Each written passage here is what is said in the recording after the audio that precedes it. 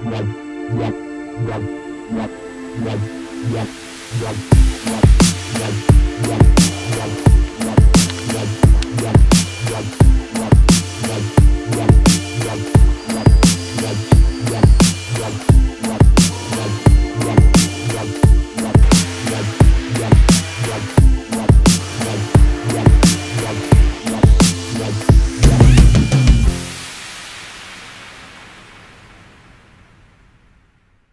Hello guys, Alex here again for We Talk UAV and this is the fourth chapter on our Inspire 2 Ultimate Battery Test series. If you want to see our first three chapters, I'll leave you the link in the description or at the end of this video. Make sure to check them out. Now we'll be testing the Inspire 2 indoors with only one battery, P mode, no GPS as we were on a minus one floor in a garage and with the X5S attached. Now let's go inside.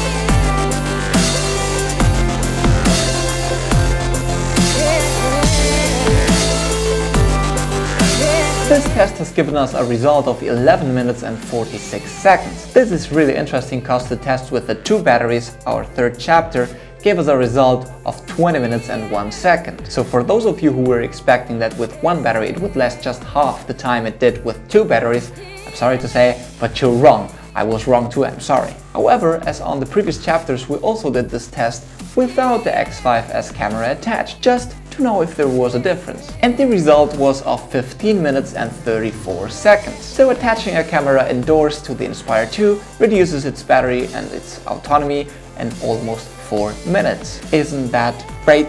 Well guys, thank you for watching so much. We hope you really liked it.